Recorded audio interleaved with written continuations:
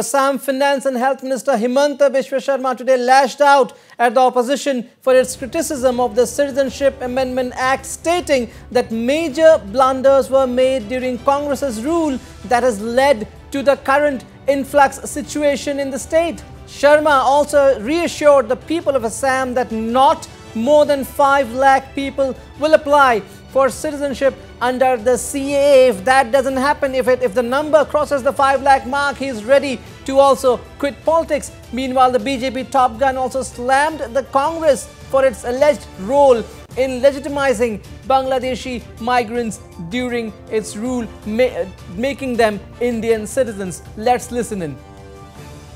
কিন্তু মই অত্যন্ত বিনম্ৰতাৰে সৈতে কৈছো এই আইনৰ সুযোগ লৈ অসমত যদি পাঁচ লাখতকৈ সংখ্যাটো কিয় কৈছো তাৰ ওপৰতো কম এজনো যদি ভাৰতীয় বিদেশী নাগৰিকে যদি ভাৰতীয় হ'ব চেষ্টা কৰে তাৰ দায়বদ্ধতা এইখন চৰকাৰে মূৰ পাতি ল'ব। আমি এই হাউচত অন ৰেকৰ্ডত কৈছো দেৱব্ৰত শইকীয়া ডাঙৰীয়া তেখেতে এক কোটি পঁয়ত্ৰিশ লাখৰ কৈ- কথা কৈছে। তেখেতে যদি কয় এক কোটি পঁয়ত্ৰিশ লাখতকৈ এজনো যদি কম আহে মই দায়বদ্ধ হৈ থাকিম মই ৰাজনীতি এৰি দিম মই মানি ল'ম। যদি মই কম যে মই পাঁচ লাখতকৈ এজনো বিদেশী অহাটো মই নেদেখো বৰঞ্চ কম হ'ব আৰু মই অত্যন্ত বিনম্ৰতাৰে সৈতে সদনত কৈছো যে পাঁচ লাখতকৈ যদি এজনো নাগৰিক এই আইনৰ কৈ আহে বেছিকৈ অধ্যক্ষ মহোদয় ময়ো কেতিয়া ৰাজনীতি নকৰো। মই মুখ্য প্ৰাক্তন মুখ্যমন্ত্ৰী তৰুণ গগৈ ডাঙৰীয়াক ধন্যবাদ জনাইছো। এই বিভীষিকাময় সময়ৰ মাজতো তেখেতে টিভিত এটা ইণ্টাৰভিউ দিছিলে। যে ময়ো জানো ইয়াত বেছি বিদেশী নাহে। এইটটি ছেভেনত ৰেগুলাৰাইজ হ'ল নাইণ্টি টুত হ'ল এইটটি ফাইভত হ'ল। গতিকে ইমান মানুহৰ কথাটো নহয়। সেই ভিডিঅ'টো মোৰ লগত আছে। আৰু মই গগৈ ডাঙৰীয়াই যিটো ৰাষ্ট্ৰ নেতাৰ দৰে বিহেভিয়াৰ কৰিছিল সেই সময়ত এজ এ ষ্টেটছমেন তেখেতক মই ধন্যবাদ দিছো যে তেওঁ আঢ়ৈ কোটিৰ কথা কোৱা নাই তেওঁ ডেৰ কোটিৰ কথা কোৱা নাই তেওঁ কোনো সংখ্যা কোৱা নাই। তেওঁ কৈছে অকণমান আহিব। তেওঁ কৈছে কিছু আহিব। And this is the way a statesman act at the time of crisis of a state এতিয়া ষ্টেটৰ সংকট আছে। বহুতে কোনোবা প্ৰামাণিকে কৈছে আঢ়ৈ কোটি। হি may be I S I যে নো বডি নোজ নহ'বও পাৰে।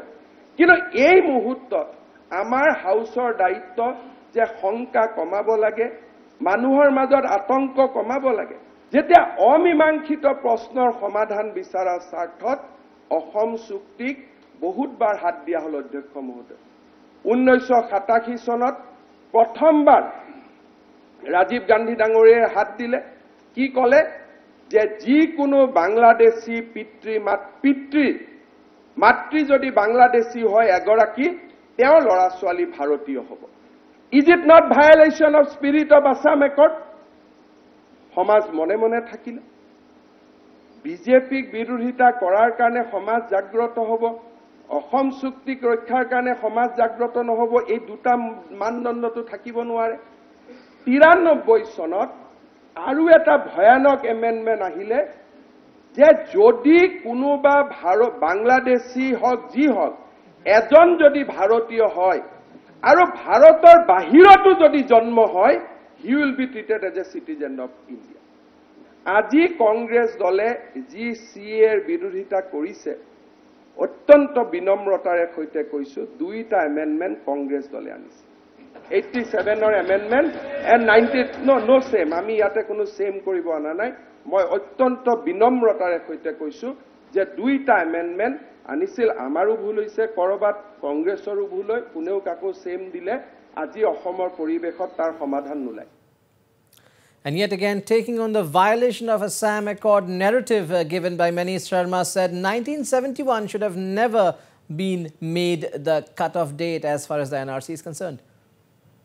অসম চুক্তি আমি ভায়লেট কৰা নাই we have addressed the unresolved issues of Assam accord clause five কেইটা মই একফালৰ পৰা পঢ়ি দিছো জাতিটো কেনেকে লাইনৰ পৰা ওলাই গ'ল আপুনি চিন্তা কৰক অধ্যক্ষ মহোদয় অসম একৰ্ডৰ কাট অফ হৈছে ছিক্সটি ছেভেন। ইয়াত লিখা আছে মই একদম লাইন কেইটা পঢ়িছো য'ত ৰাজীৱ গান্ধী আৰু প্ৰফুল্ল কুমাৰ মহন্ত ডাঙৰীয়াৰ চহী আছে।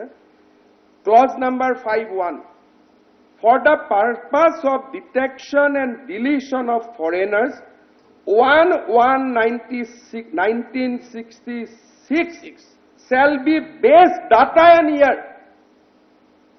both data and year 71 was never base and data and year. 67 is base data and year. তাৰ পিছত কি কোৱা হৈছে ইয়াত এন আৰ চিৰ প্ৰয়োজন নাছিলে আছাম একৰ্ডত কৈছিলে ছিক্সটি ছিক্সৰ ভোটাৰ লিষ্টখনে এন আৰ চি ইয়াত কোৱা হৈছিলে গগৈ ডাঙৰীয়াই দুই হাজাৰ চৈধ্য চন বিচাৰে কিন্তু আমাৰ সকলোৰে এসময়ৰ নেতা ৰাজীৱ গান্ধী ডাঙৰীয়াই কৈ গৈছিলে যে আছাম এন আৰ চি হ'ব ছিক্সটি ছেভেন ইয়াত কি কৈছিল all person who came to Assam prior to one one nineteen sixty six including those amongst them whose name appeared on the electoral roll used in 1967 election shall be regularized. Very precise যে nineteen sixty ছেভেনৰ electoral ৰোলখনেই base data হ'ব base ইয়াৰ হ'ব। A small concession was given যদি কোনোবাই sixty six sixty seven sixty এইটত ভাৰতত আহিছে তেওঁলোকে যদি ডিক্লেয়াৰ কৰে যে মই ছিক্সটি ছিক্সৰ পিছত আহিছো আপ টু ছেভেণ্টি ওৱান তেওঁলোকৰ নাম দহ বছৰৰ কাৰণে ভোটাৰ লিষ্টত বাদ যাব আৰু they will be considered as a Indian তাৰমানে ছিক্সটি ছিক্সৰ পৰা ছেভেণ্টি ওৱানলৈকে যিসকলে ডিক্লেয়াৰ কৰা নাই ফৰেন অফিচাৰৰ ওচৰত they cannot be treated as a Indian কিমান ডাঙৰ ঢোকা এটা অসমৰ ৰাইজৰ লগত হৈ থাকিলে আপোনালোকে চাওক names of the foreigners so' detected ফৰে এইটো চাব five three foreigners who came to Assam After one one nineteen sixty six and up to twenty four March nineteen seventy one shall be detected in accordance with the provision of foreigners act তাৰমানে sixty ছেভেনৰ পৰা seventy ওৱানৰ মানুহখিনিক আমি detect কৰিব লাগিব তেওঁলোকক তেওঁলোকক চিধা পাৰ্মিট ক'তো নাই Uh, Candid Sharma also said that even the Assam Accord has evolved over the years. প্ৰথম কথা অধ্যক্ষ মহোদয় যেতিয়া অসম চুক্তি স্বাক্ষৰিত হ'ল এই চুক্তিখন মাত্ৰ চাৰিটা পেজৰ চুক্তি এখন। প্ৰফুল্ল মহন্ত ডাঙৰ ইয়াত আছে স্বাক্ষৰ কৰিছিল। এই চুক্তিখন অল একমপ্লিছ নাছিলে। এই চুক্তিখনত বহুত কথা সন্নিৱিষ্ট হোৱা নাছিলে। এখন যে ৰাজ্যত এন আৰ চি লাগে এই কথাটো এই চুক্তিত নাছিলে। N R C has evolve as a concept post Assam accord বহুতে কয় অসম চুক্তি মতে ৰাষ্ট্ৰীয় নাগৰিকপঞ্জী হৈছে। এইটো নহয়। দুই হাজাৰ পাঁচত মনমোহন সিঙৰ বৈঠকত এন আৰ চি ফৰ্মেলাইজ হ'ল। কিন্তু এন আৰ চিৰ ডিটেইল গাইডলাইন তৰুণ গগৈ ডাঙৰীয়াৰ মুখ্যমন্ত্ৰী থকাৰ সময়ত আমাৰ সকলোৰে প্ৰচেষ্টাত ছাত্ৰ সন্থাৰ লগত গোটেই কামখিনি আমি কৈ গৈছিলো। That means N R C কোনো আছাম একৰ্ডত ইয়াত লিখা হোৱা নাছিল।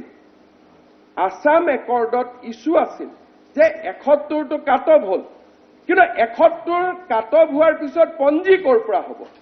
তাৰমানে আছাম একৰ্ডৰ যিটো আনৰিজল্ভ ইছ্যু আছিল দুই হাজাৰ পাঁচ চনত কংগ্ৰেছ চৰকাৰৰ সময়ত আছু কংগ্ৰেছ আৰু আমাৰ ত্ৰিপাক্ষিক বৈঠকত ৰিজল্ভ হ'ল।